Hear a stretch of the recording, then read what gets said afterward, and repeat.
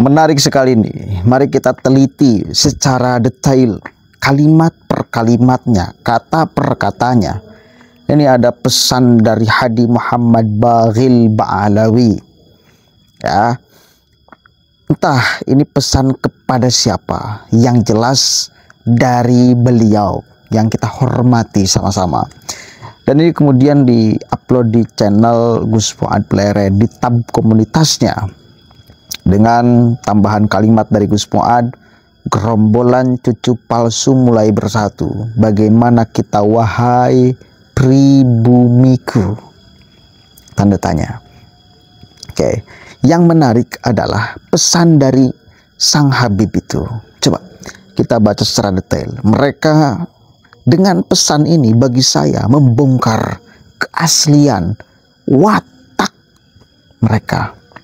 Ya, yang selama ini kita hanya katakan menuduh dengan ya kita melihat karakter-karakternya ternyata ini di dalamnya pun dia disebutkan ini watak itu yang kita selalu sebutkan ternyata dia sebutkan memang seperti itu sering gontok-gontokan, berebut panggung dan lain sebagainya.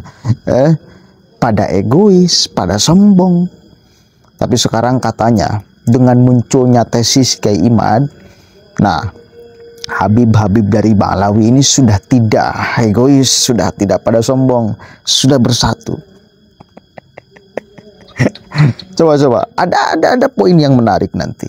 Kita akan kaitkan uh, dengan uh, narasi teks Al-Quran yang katanya mereka itu wayutahhirukum tathiro.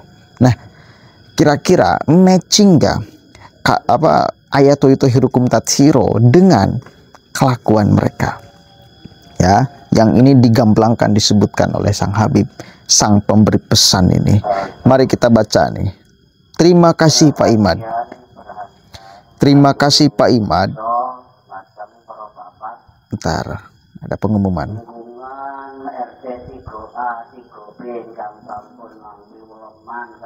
Bapak RT. Mm. Monggo kula aturi enggal enggal lawuh jantung wajib khairul falah. Siap. Atur mulinga para bapak, para betul enam Bapak RT. Semangga dihaturanna enggal besuping ka Masjid Khairul Falah. Hmm. Siap. Allah musyawarah bakal enggal Hmm. Sebentar ya, saya akan buat konten dulu. ada pengumuman harus ke masjid ya. Jadi wilayah saya ini ada ada dua dua dua apa namanya dua bahasa Jawa dengan Sunda Jasun. Jadi pengumumannya pakai dua bahasa, pakai bahasa Jawa dan bahasa Sunda. Lanjut kita baca nih pesannya. Terima kasih Pak Imad. Terima kasih Pak Imad berkah ucapan Anda kami para habaib sekarang tambah akur dan rukun. Berarti sebelumnya tidak akur dan tidak rukun. Kemudian, terima kasih Pak Imad kami yang dulu terlalu egois. Nah, catat garis bawahi. Saling berebut panggung dan popularitas. Sekarang kami lebih solid, semakin berempati dan berbagi. Nah, kan itu kan? sebelum ada tesis kayak Imad katanya mereka itu pada egois saling berebut panggung layakkah mereka-mereka yang menerima mandat kesucian hmm? kalau masih ada berebut panggung kalau masih ada pada egois kan gak matching bener gak batal gak kira-kira klaim kesuciannya? Batal. Ya kelas sebentar lagi. Kemudian daguan mang bareng mang. Daguan mang bareng mang itu mang pon. Terima kasih Pak Imad. Lima menit deh mang anda telah menyadarkan kami bahwa menjadi Habib saja ternyata tidak cukup membuat kami dicintai dan disukai. Kami butuh ilmu, kami butuh amal, kami butuh peneladanan kepada salaf-salaf kami. Yang kan? Berarti selama ini yang kita ucapkan itu betul semua tuh. Coba kasih spidol tebal-tebal. Anda telah menyadarkan kami bahwa menjadi Habib saja ternyata tidak cukup membuat kami dicintai dan disukai. Berarti kan mereka benar-benar dari dulu itu hanya membuat gelar, hanya menjual gelar Habibnya tanpa memperhatikan ilmu, ya, tanpa memperhatikan amal, jualan Habib harus dicintai, harus dihormati, harus disegala macam kan. Nah berkat Kiai Imad katanya sekarang kami menjadi sadar gelar Habib saja tidak cukup untuk membuat kami dicintai. Berarti kan ngemis cinta dari dulu tuh. Klaim-klaiman Habib itu. Benar gak? Ini dia yang ngomong loh. Pesan ini sekaligus membongkar karakter aslinya. Hmm, lanjut nih. Terima kasih Pak Imad. Berkah Anda kami menjadi mengetahui siapa yang benar-benar cinta dan siapa yang serigala berbulu domba. Kalau dulu mereka-mereka masyarakat cinta disandarkan pada hanya ya gelar menjual kakek moyang tanpa didasari dengan ilmu maka sekarang sekarang masyarakat akan lebih terbuka dan pada akhirnya akan menghilangkan cintanya. Begitu bos. Jadi jangan GR jangan pede. Iya bentar lagi ya sayang. Uh, 6 menit. Eh, tiga menit lagi. Oke? Okay? siap. Sudah ada yang menjemput. Harus kumpulan ke masjid.